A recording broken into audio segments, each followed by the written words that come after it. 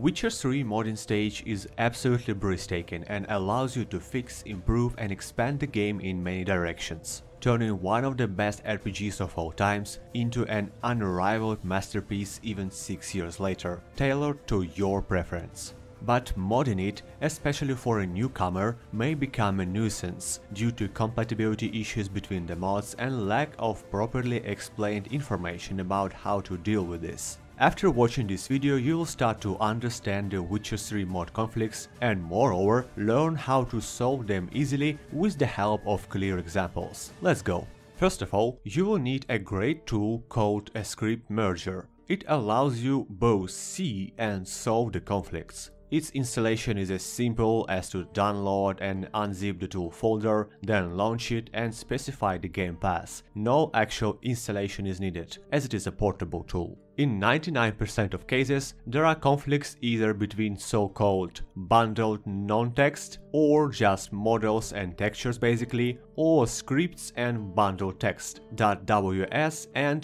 .xml files, which both have certain part of code and parameters in them. It may look scary at first, but just a few minutes after you will realize there is nothing to fear at all. Models and textures conflicts aka overwriting order first. Models and textures can exist in two forms, either in forms of the loose files, where you actually see each model or texture file, or in the form of them being packed into special archives, differing from game to game. For Elder Scrolls and Fallout series for example, these are .bsa archives and for Witcher it is so-called bundles. Loose files are much better to operate with as you see them all and can for example tell the game I want mod A being fully overwritten by mod C but only these certain files from mod A to overwrite mod B etc. In this way you can mix and match graphics mods content to achieve best visual results. When it comes to archives, as loose file system is sadly not available for Witcher, you cannot do this and can only specify load order of these mods according to which they will override each other completely. And this is how it's done for Witcher 3. You can also achieve the great result by adjusting the load order rules aka priority properly. For Witcher 3, the numerically lower priority number has higher load order over a mod with numerically bigger priority number, meaning that from 1 to 100, priority 1 is highest and priority 100 is lowest the example of several mods with different priorities and what this results into is being shown on the screen now. You can set up priority either in a script merger itself or in mod settings configuration file, usually located at documents the Witcher 3 folder.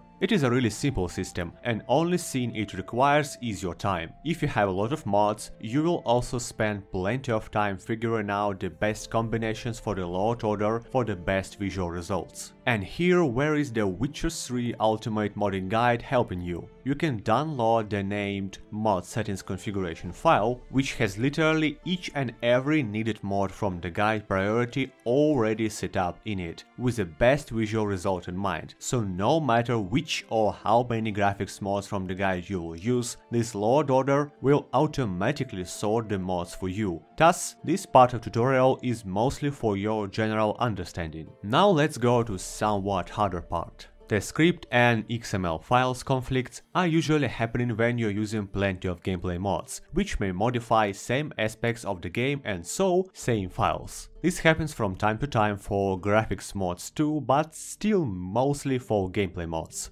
The script merger shows you where there are the script.ws or bundle text.xml conflicts and offers you to merge them. Always do so. By the way, there is a somewhat old myth that uh, XML files should not be merged. This is completely untrue. The thing is, yes, of course, technically, you cannot merge the XML files. The load order priority will take one mod XML file over another mod XML file. But in this way, as you may have already guessed probably, changes or the new features from that mod will be completely non-existent in your game. This can be loot, uh, trader's arsenal, or changes and new effects to weapons, armors and skills, etc So once again, always do merge XML files too. The principle of merging both scripts and XMLs is the same, so I will demonstrate this on a scripts example. Also as for the scripts, it's absolutely mandatory to merge them too, because while your game will still work with unmerged XML conflicts, with unmerged scripts conflicts, it will simply crash on launch.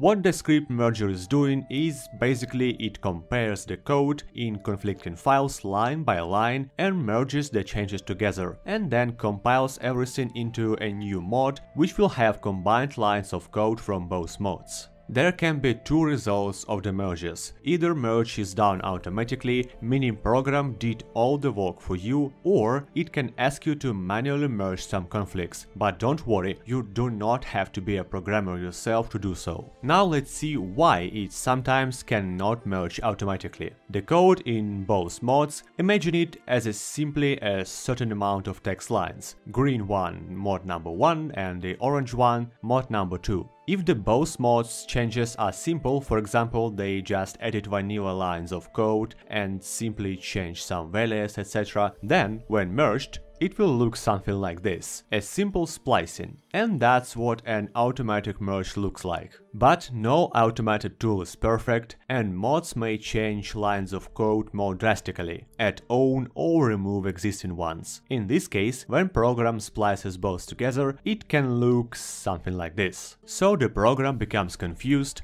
due to various inconsistencies. It simply doesn't know what to do and asks you for help.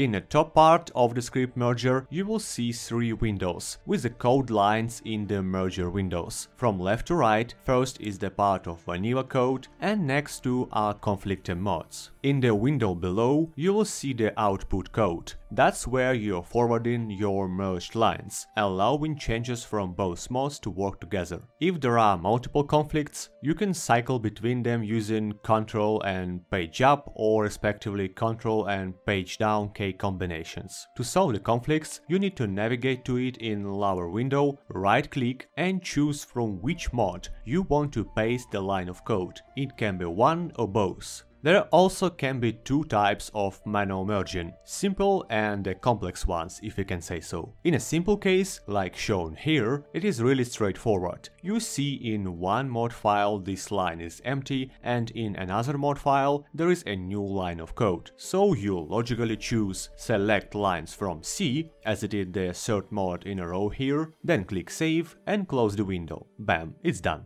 But there can be more complex cases too. This example is a conflict between my existing mod setup and the mod called of viable swords and dumplings, both modifying a script called playerwitcher.ws. As you can see, there are two conflicts and two very different additions in the same part of code, which means you need them both, for both existing mod and a newly added one have their features present in the game. Okay, so now what's the first thought coming to mind? Right, choose both lines from B and C in each conflict. But here is the problem. Should you do so and save the file, game will simply crash on launch with some weird error message. As mentioned already, no automated tool is perfect, and that's an example of it. Now let's see why. Let's look on the code itself. See the top line, if and then some blah blah blah blah blah. And below it, there is some other code in the brackets. Basically, this means both mods are saying the next. If there is a certain condition, the top line starting with if word, do the next, the other code below in brackets. If you will just choose uh, both changes in each conflict, it will be done in a really weird way, mixing both of modes code lines, so no wonder it got broken, right? Now how to solve this and any other complex conflict. Two simple rules. First one, follow the common sense, and second one, every bracket must have a pair. Let's apply them now. Following the common sense, why should we randomly mix code parts, right? Logically, they should just go one after another. Now, every bracket must have a pair one. See the resulted lines. For the first mod, both opening and closing bracket are present, but for the second one, one bracket just got lost. And that's why we have a crash after the script's compilation. So what we need to do now? First of all, choose the same mod, mod B for example, for both conflicts. This will paste only these mod code lines and it already looks better, right? Because we see this mod code in whole. Now the last step. In the lower window where our result is, just press enter after the mod B code, starting a new line. Go to mod C window and just select and copy its own part of conflicting code. Also don't mind these little arrows, these are just a cosmetic separators, they do not actually exist in code itself. Now click on our new line made in a merging window and paste it there. Now, if we compare the windows, we can see what we needed from the start. The new stuff from both mods going one after another in proper order. Save and close the script merger. Now let's check it and launch the game. It's now compiling scripts again and some time to sync it. Bingo! It is worked and game is launched. But to be 100% sure, let's test it in-game of course. Here is our new improved Brenna sword, modified by the mod. Its special effect should greatly increase adrenaline generation when at low health. Let's see. So here is our regular adrenaline generation from hits, right? And now Nekkers will have some fun beating poor Geralt. health is definitely low enough and yep, our adrenaline generation just spiked. As you can see, you do not need to literally understand the code to merge it properly. Just do not rush and pay a bit of attention to line structure, and you'll be able to merge anything and build the most spectacular mod list without issues. A small last note, this part of tutorial is meant for merging exactly the .ws and .xml files. In some cases, really rare ones, you most likely will not encounter that at all, but still worth to mention. There can be conflicts in some other file types, like .csv for example. In this case, it is better to see if the mod has a patch as the code lines in these files look like a complete gibberish, and you should not do this at random. So if there is no patch, it is better to just avoid using such mods together. Usually that's a lighten weather mod conflicts, and with vastly majority of lighting and weather mods they are huge and whole game covering, so you should not use more than single of them anyway. That's it folks, I hope this tutorial was informative and useful for you. Don't hesitate to put it on pause or rewatch some parts of it, and best of luck with modding this amazing game. Don't forget to enable channel notifications and join our Discord to always stay in touch and receive a live modding support. Stay tuned, stay healthy and stay happy. Sinitar Gaming here, signing out.